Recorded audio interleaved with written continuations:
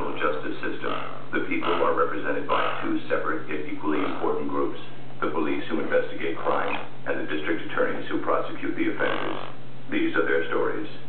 He started feeling crummy a couple of hours ago. He was, he was running a temper. You know, he was, he was fine, and then he just crashed. That's how kids are. They look okay, and then boom, they bottom out fast.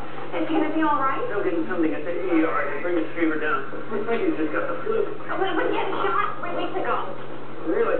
Yeah. How old is he? Oh, he's ten. Uh, our pediatrician had a few extra doses. They're lucky. I know so many families tried to get shots and couldn't.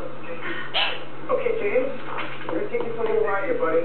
Your mom's gonna come with us. You're gonna be okay. It's okay, James. Everything's gonna be all right, sweetheart. Mommy's here. Mommy's here, baby. Okay. All right,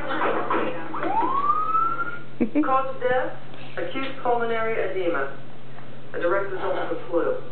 So what's called, sir? His parents said he got a flu shot about a month ago. So I pulled his pediatrician's chart. According to the records, he was Can't vaccinated, but when I ran blood titers, he had no antibodies. And you should have had. If he'd been immunized, absolutely.